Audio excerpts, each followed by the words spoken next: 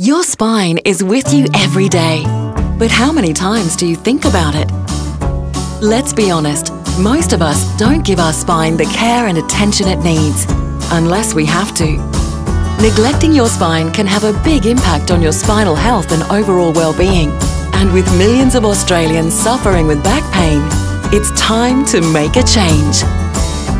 World Spine Day raises awareness of spinal health issues and this year the focus is on taking steps to be kind to your spine.